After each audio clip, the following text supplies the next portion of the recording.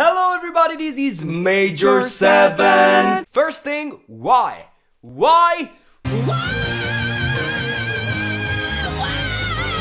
In the last video I said this is to give you a new song every Tuesday and uh, the analysis following on Friday. And when I tried to record that video, nothing worked the way I wanted. Thereby, this video took so much longer to make than I planned to. But anyway, welcome to the second part of the first episode of Pills. In this video we're talking about a song I released the last Tuesday, so if you haven't listened to it yet, just follow the link and come back here.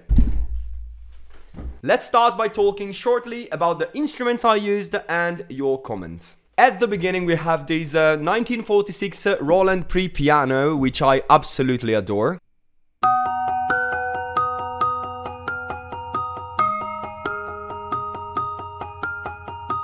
It's got that spookiness that fits perfectly with the mood I wanted for the beginning of this song. It kinda reminds me of some horror movies soundtracks uh, such as uh, Tubular Bells uh, by Mike Oldfield or... Uh, the moment I started talking about an Italian band, I switched to my R sound from my Italian. Uh, that's interesting.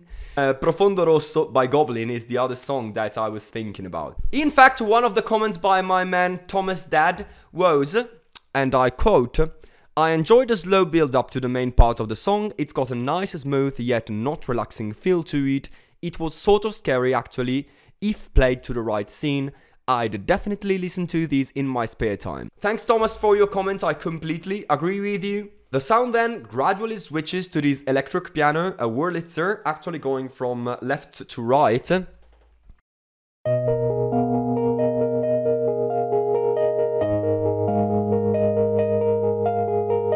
That goes on for the entire song until it fades again in the pre-piano towards the end of the song. About this left to right thing, we've got a comment by Epsilus Music that says, This is such a cool idea, I also loved the song, if I'm allowed to be picky, the asymmetry of the stereo image kind of threw me off, but that's just personal taste, I guess. Other than that, it is a really great song, very calming. Thanks a lot, Epsilus Music. This happens every time. I already answered to him and I do understand what he means. So one of the things I'm trying to do to fix this song is to correct this asymmetry. We then move to the drums. We've got an 808 style drum machine going on.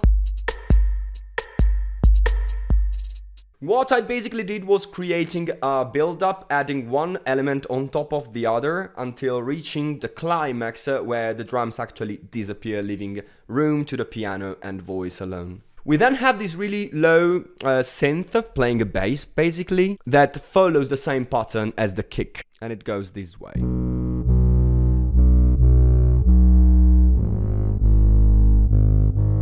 It's also kind of traveling from right to left. The last thing we have is the voice that is really important, I think, in this song. This is the typical important gesture, you know? Important. You know, when you're talking to a person, I've got something important to tell you. We have these voices that are building chords, but also very rhythmical. And I try to figure out what chords we have here, thinking that we have this ostinato movement. It builds up at the beginning we have only one note, then another one adds up, and then another one, and then yet another one, leaving us with these two chords alternating.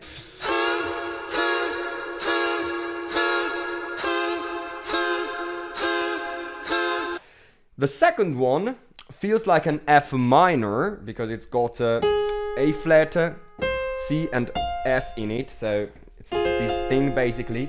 At this point, the bass and the piano are actually playing an A flat, so it kind of feels like a minor chord by itself, but if added to the piano, it gets the quality of an A flat 6 chord.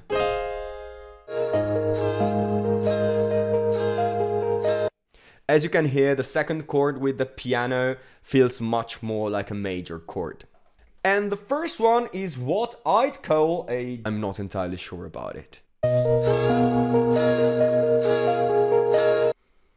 The camera turned off because it was out of battery. So I took my time to cook and have dinner. So here's what I cooked. Risotto with pesce persico. That is a, a typical recipe from where I live, from Lake Como.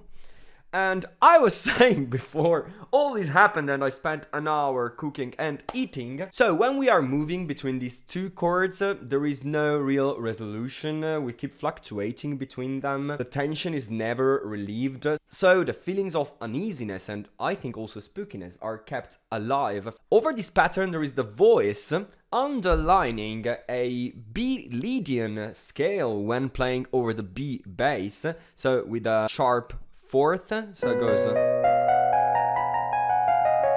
And the Mixolydian scale off and on A flat, with a flat 7, so going. Uh,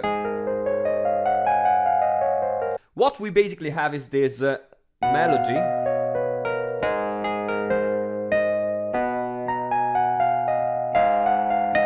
reinforcing the idea that we are switching between these two modes on these two chords.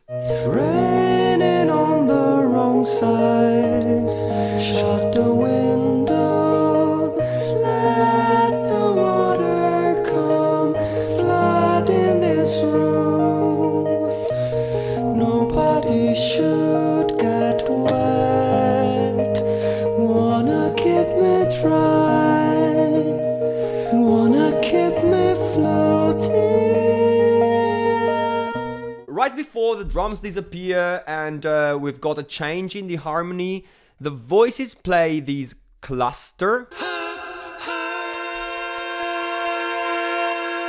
projecting us uh, towards uh, the last part of the song with only the electric piano and the voice. After this uh, clash of voices, we've got uh, the beginning of the center, harmonically speaking at least, uh, with the bass going uh, B, B flat, A flat, G flat, E, E flat, E, E flat, and various chords are arpeggiating over these bass. I spent half an hour trying to understand what the first chord was, and I still don't know. So, if you want to try to give names to these chords, let's go through the piano here.